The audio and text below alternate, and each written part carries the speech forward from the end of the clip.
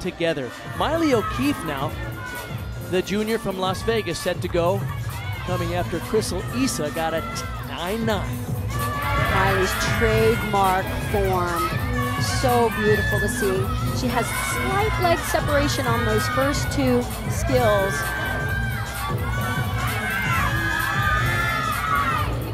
Gorgeous final handstand. Really showed that position off. And lovely half in double front. Really difficult to land. She kind of scooted back on the landing.